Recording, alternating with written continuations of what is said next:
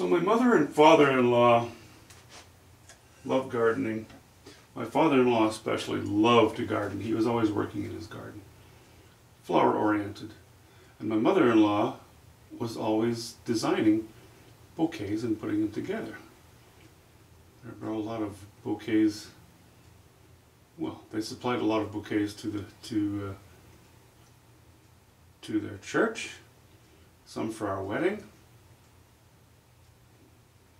I don't know that they were that involved with sunflowers, but I know that uh, they wanted me to do a sunflower painting for, for them. And at some point I did. And this is it.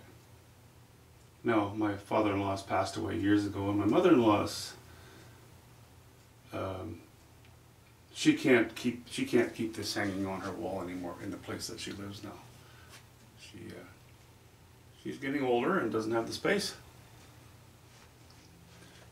Just flip the screen around so I can see what's going on here. So, uh, we got this back, moving her from her apartment to the smaller apartment now, or from her house. Um, I guess what I want to say about this is that uh, I love this painting.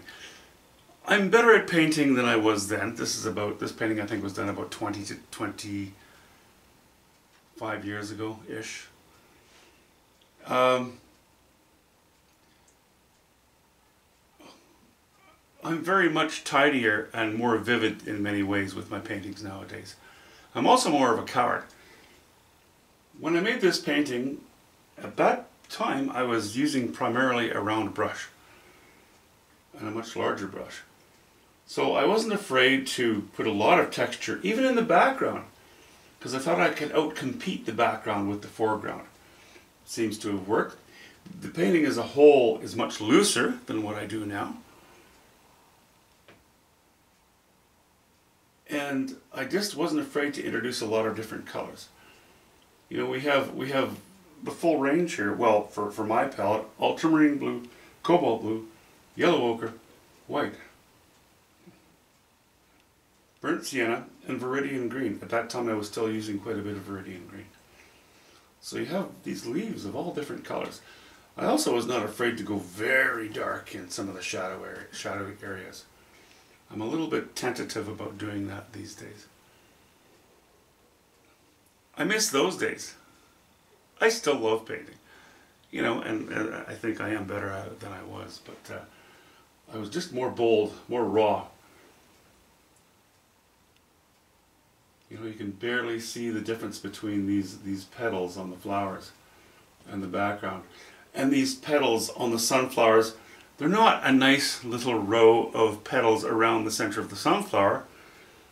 They're all over the place because as the sunflower gets older, they take on quite a distinct character and the, the character is that they become disorganized.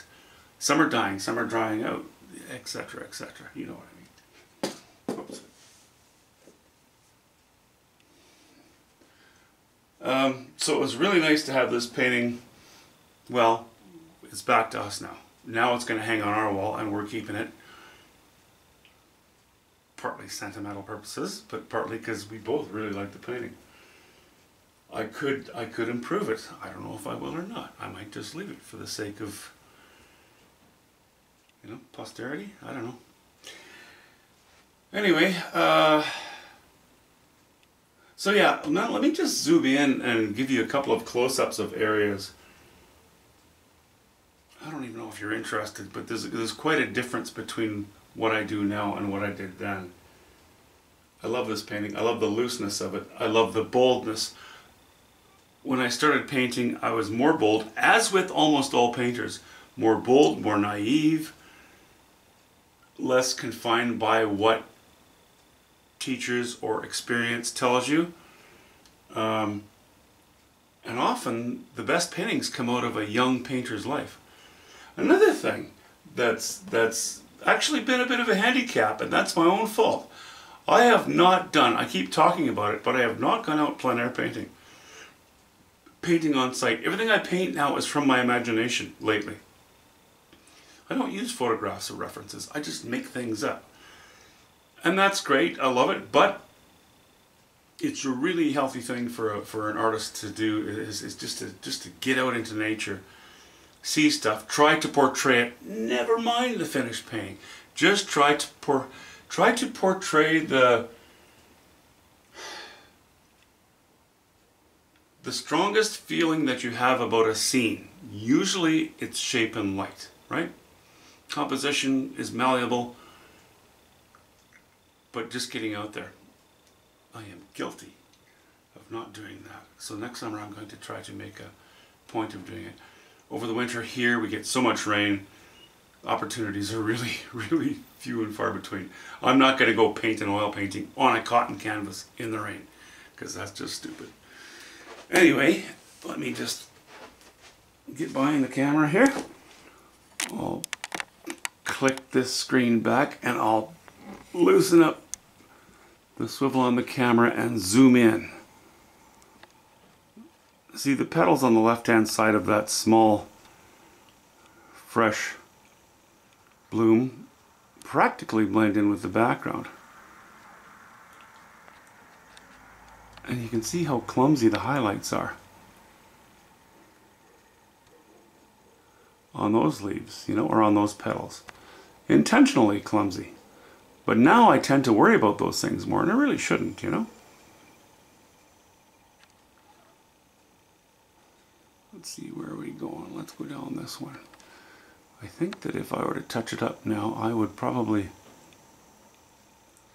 make the definition between the between the flowers in the background a little bit stronger.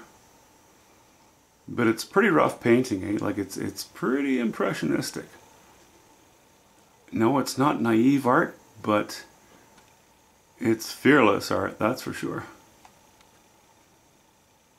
And sometimes I wish that these days I had that that boldness just to walk in there and paint something and and say, okay, looks good, I'm leaving it. Anyway, like I say, going out plein air painting does that for you. It does. It invigorates you. It gives you renewed strength.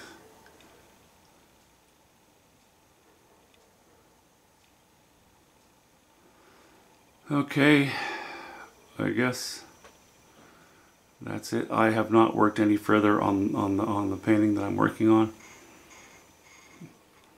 I've left it be because I'm playing with some woodwork as I mentioned on my air gun and there are a few other things that getting closer to Christmas